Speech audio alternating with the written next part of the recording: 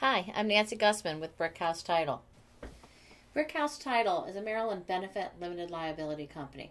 Our mission is to promote affordable, sustainable home ownership through education and counseling of both buyers and sellers of property. We also contribute a portion of our proceeds each month to a charitable organization whose values are in line with our mission towards affordable, sustainable housing. What this means is that at Brickhouse Title, our goal is to give back to the community.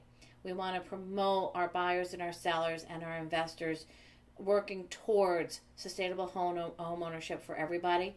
And um, to that end, we do contribute a portion of our proceeds to those charitable organizations such as Habitat for Humanity and um, Builders Cares and other organizations that are working towards building low to moderate income housing, uh, providing financing for low to moderate income purchasers, and providing counseling for those homeowners who need it. And I'd like to welcome you to Wined Down Wednesdays. Wined Down Wednesdays is an event that we have in our office monthly for real estate investors. You get to network with other investors and the service providers who are going to assist you with your investing needs. You get a little bit of education.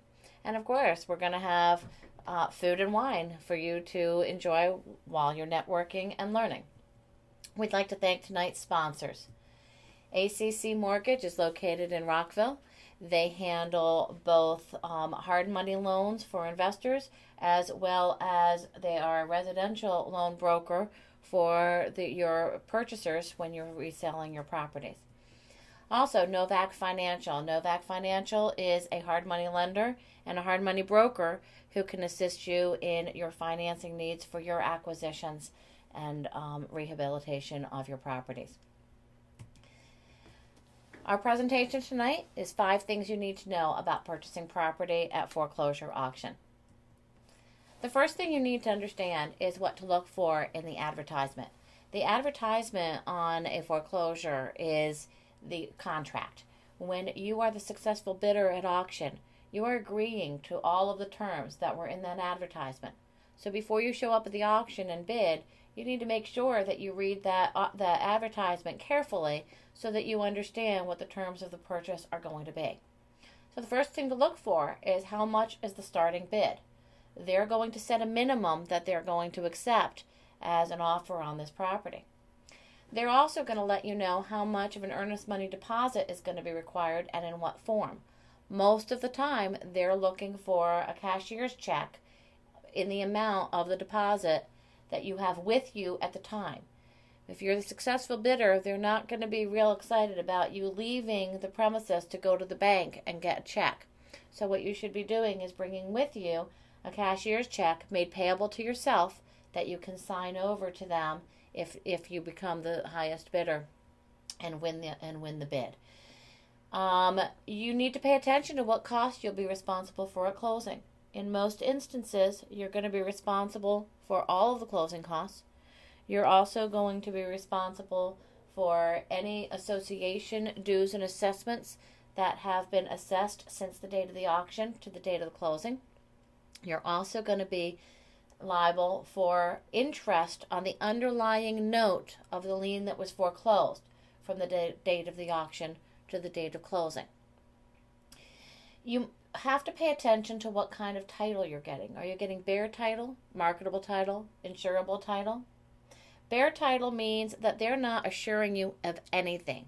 You could be taking over other liens, you could be taking over any type of issues that are in the title. Marketable title simply means that they are warranting that you will be able to find somebody who would be interested in purchasing this property from you. Insurable title means that a company like mine can insure title. We can issue you a title insurance policy. There is a difference between marketable and insurable. You might have somebody who's interested in purchasing a property, but we can't issue title insurance because of some issue in the title. Or you might have a property where we could insure it all day long, but nobody's going to want to buy it. I'll give you an example. I had a property a number of years ago that I was very w- well and able to insure. It was a landlocked piece of property, and it was five acres, and it had a 12 stall horse barn on it. Now, I'm not quite sure how many people would want to buy it. How marketable is that piece of property? On the other hand, we were able to insure it. So that shows you a little bit about the difference between marketable and insurable. You also have to pay attention as to whether or not the property is being sold subject to the rights of others. And if it is, this has to be in the advertisement. So you might be taking it subject to a superior lien, like maybe the loan the lien being foreclosed on is a second mortgage. Well, it's being foreclosed subject to the rights of the first mortgage. And what that means is that if you're the successful bidder, you not only have to pay the amount of money that you bid to the lender that foreclosed, but you will also have to pay off in full that first trust mortgage. So you need to be cautious and you need to make sure that you're paying attention to whether or not there are superior liens. The other thing that gets people oftentimes is IRS rights of redemption. So if all of the fi- proper paperwork has been filed, then the IRS has 120 days from the date of the auction to decide that they prefer to have the property. So you don't want to be a successful bidder and then be and then be forced to go to closing before the IRS has spent their 120 days and determined whether or not they want to buy the property. If the IRS decides to exercise their rights of redemption, you, as the highest bidder, would get back any cash that you have actually given to the seller of that property, but nobody is going to reimburse you for any expenses that you may have incurred in the process. The second item that you want to pay attention to before you go to an auction is the property condition. You should never buy a property sight unseen. I've had many clients who have just shown up at an auction. They never even drove past the property. They have no idea what it looks like, and they were the highest bidder, and they ended up spending lots of money that they hadn't planned on spending.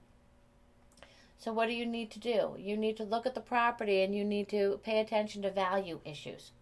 You want to make sure that you're not paying more an acquisition for the property than it's worth you want to have an idea of what kind of rehab and repair costs you're going to have on the property. And you want to know whether anybody's living in that property. So you might want to know why. Well, the reason is that you don't want, number one, you don't want to end up spending more money for a property than it's worth. Number two, you might have in your mind that you're only willing to pay $30,000 in rehab on a property, but it may end up costing you fifty, eighty, or maybe even a hundred thousand dollars to make the necessary repairs and rehabilitation in order to be able to resell or rent out that property. If there's still people living in the property and you are the highest bidder, you are going to be responsible for evicting those people and getting them out of the property. So you want to make sure that you you have a property that is vacant or you need to be prepared for the expense in, involved in having those people removed from the property. You should have at least a simple title search done, even if it's not a complicated title search. You should look at the title to see what you're acquiring. Remember when I was talking a few minutes ago about bare title versus marketable title versus insurable title? For one thing, the foreclosure attorney may not have cleared all the title issues prior to foreclosure. We often get post foreclosure properties that still have unreleased liens, defects in the chain of title. If they have not given proper notice to the other lien holders on the property, then that foreclosure itself might be defective and the foreclosure might have to be redone and you won't be the highest bidder the next time, very possibly. You want to make sure that you know what the restrictive covenants are on a property. If you're purchasing a property that has covenants as to who you can resell the property to or how much you can resell that property for, such as um, an HOC property or a moderately priced dwelling unit, um, then you may or may not be bidding the proper amount on that property. So I have a client who purchased an MPDU at auction, and he paid forty thousand dollars higher than the MPDU sales price. Um, there was a few issues. One is that the MPDU is not going to run the same comps as the rest of the neighborhood. Now, we did learn that the MPDU restrictions will be released after the foreclosure process has been completed. But the comps for that unit are going to be the other MPDUs in the neighborhood, not the neighborhood as a whole. So he now has purchased a piece of property above the value of that piece of property. You want to make sure that you understand what the restrictions are going to be from any homeowners association or condo association. You might have all kinds of plans for your rehab on that property, but the association may not allow it. So you need to find out what that is. And again, we need to see if there are IRS rights of redemption and whether or not you're going to have any issues with the IRS before you purchase this property. So, what happens at and after the auction? What is the foreclosure process? So, congratulations, you're the highest bidder. You're getting an auctioneer's certificate that states who you who the purchaser is, and how much you purchased the property for. And you're going to sign it as well as a representative for the seller. The auctioneer is then going to file a report of sale with the court stating that you were the highest bidder for how much money and um, when the auction occurred, etc. You are going to have to sign a purchaser's affidavit that will be filed with the court stating that you are the highest bidder and that you are going to purchase the property for that purchase price. Once all of this is done, the debtor has a right to file exceptions in the court. Exceptions are something stating that the foreclosing trustee did not follow the proper procedures with regard to the auction, and therefore it is a request by the debtor to have that entire auction set aside and uh, either the foreclosure dismissed or a new auction um, handled. Again, depends on the circumstances how a, how a judge may or may not respond, but you need to prepare for that. If you are the highest bidder, then you're going to have to buy that property. Your name's on that auctioneer certificate. You're going to have to be in that deed. The only way to change that in Maryland is to substitute the purchaser. This is a court process. You have to file a motion with the court requesting a substitution of purchaser and the judge has to make a decision as to whether or not they're going to allow that. Um, I will tell you that the judges are scrutinizing these, and they're not going to be a fan of you selling your rights to another purchaser for any significant amount of money.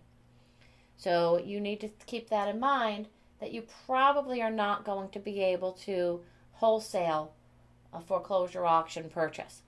In DC, you cannot substitute a purchaser at all. Whosever name is on that auctioneer certificate is whose name has to be on the deed, and there is no process for substituting a purchaser at all. In Maryland, you're going to have a ratification. This is the court ratifying the sale. So, what you need to think about is you put it in terms of that advertisement was an offer when you were the highest bidder, you accepted that offer, and now the court is going to ratify that contract. It depends on what county you're in, how long this takes. It could take anywhere from 60 to 180 days for the court to ratify, which means that you are not going to closing for that time period.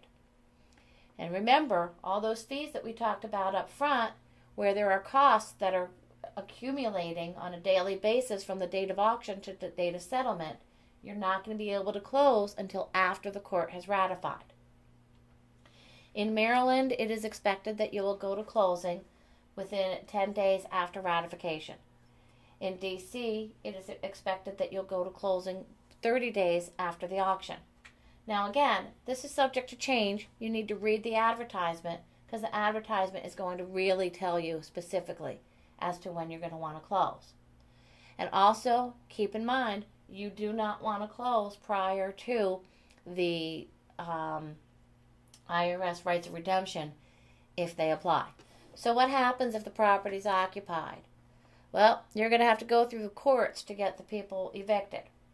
So, the first thing that'll happen is that you need to get a writ of possession from a court, which means that you have to prove that you are now the owner of the property, which in DC means filing something separate with the court showing that you were that you were the um, purchaser at foreclosure auction. In Maryland, it's filing a motion with the court that's already been handling the foreclosure. And you're going to have to get a writ of possession.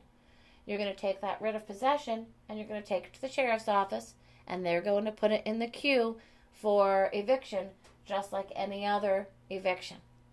Now, your tenants do have the op- opportunity to file against you to try to prevent you from evicting them. Um, sometimes they're successful, sometimes they're not. I have had clients who it took them two years to have somebody evicted from the property because the people knew how to work the work the system. With that, we've talked about the foreclosure process and purchasing property at the foreclosure auction. Our next event is going to be on Wednesday, February 12th, and we're going to talk about the legalities of contract assignments.